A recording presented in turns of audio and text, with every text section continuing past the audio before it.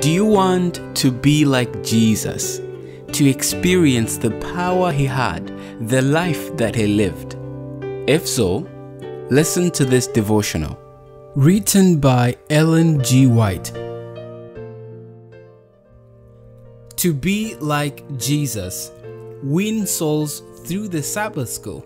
September 22nd. Jesus answered and said to him, Most assuredly, I say to you, unless one is born again, he cannot see the kingdom of God.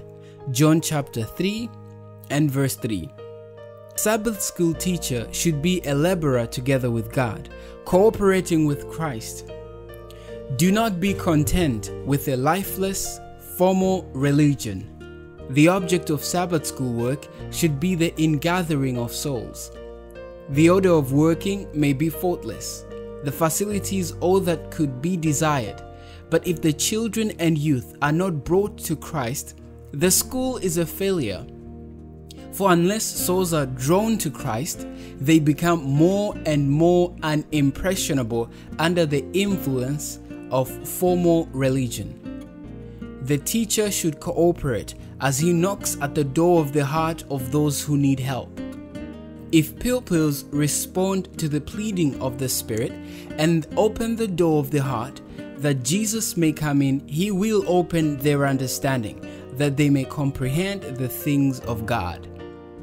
The teacher's work is simple work, but if it is done in the Spirit of Jesus, depth and efficiency will be added to it by the operation of the Spirit of God. There should be much personal work done in the Sabbath school. The necessity of this kind of work is not recognized and appreciated as it should be. From a heart filled with gratitude for the love of God which has been imparted to the soul, the teacher should labor tenderly and earnestly for the conversion of the scholars. What evidence can we give to the world that the Sabbath school work is not a mere pretense? It will be judged by its fruits. It will be estimated by the character and work of the pupils. In our Sabbath schools, the Christian youth should be entrusted with responsibilities that they may develop their abilities and gain spiritual power.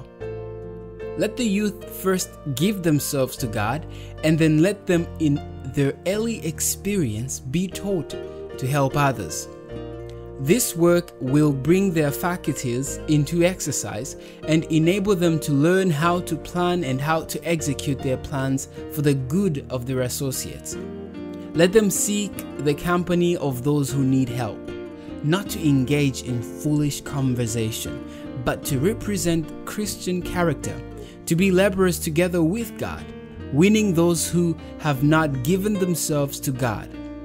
Testimonies on Sabbath School Work, page 47 and 48. Thank you so much for listening to this devotional. For much information on Sabbath School and what it is, please make sure to visit the link in the description where you will find Sabbath School lessons that will enrich your life.